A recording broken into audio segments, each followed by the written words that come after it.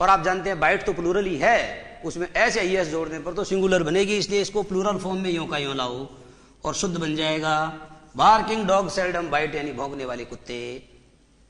कभी नहीं काटते हैं, न के बराबर काटते हैं, सौ में से एक बार, हज़ार में से एक बार ही काटते हैं, वो बहुत की रह जाते हैं। ओके तो ये तो एक प्रकार की कहावत हो गई है।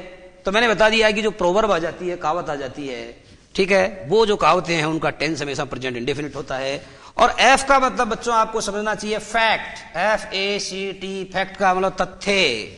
तथ्य तो तथ्य है, अर्थात तथ्य जैसा है, वैसा है। मैंने कहा दो दो चार होते हैं। दो दो चार होते हैं, हो रहे हैं, ऐसा नहीं कह सकते हम। ऐसा हो रहे हैं का मतलब तो अभी हो रहे हैं। आज आज जोड़ो तो हो रहे हैं, और कल जोड़ोगे तो नहीं हो रहे हैं। ऐसा भाव उसमें नहीं है। दो और दो चार होते हैं, एक तथ्य है। तथ्य जो होता है, वो आज भी होता है, वो कल भी हुआ था और वो परसों भी होगा, उसे हम कहते हैं फैक्ट मैंने आपको कहा two and two make four sentence लिखे एक बार। टू एंड टू खालिस्तान दे दिया आपको, इधर दे दिया मैक और यहाँ दे दिया फोर देखें आप। Two and two make four प्रश्न यह है कि यहाँ मैक करूँ या मैक्स करूँ? आपको यह देखना चाहिए कि मैक को आप जब यहाँ लाते हैं तो इसका कर्ता पकड़ो।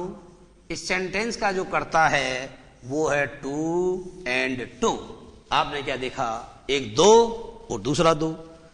टू एंड टू को सिंगुलर सब्जेक्ट मानने की गलती कभी नहीं करें।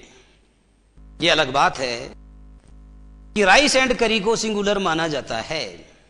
यह अलग बात है कि स्लो एंड स्टडी को सिंगुलर माना जाता है। Slow and steady wins the race slow and steady wins the race होता है, परंतु टू एंड टू और टाइम एंड टाइट कई स्तरीय पुस्तकों में यह लिखा हुआ है कि टाइम एंड टाइड सिंगुलर है।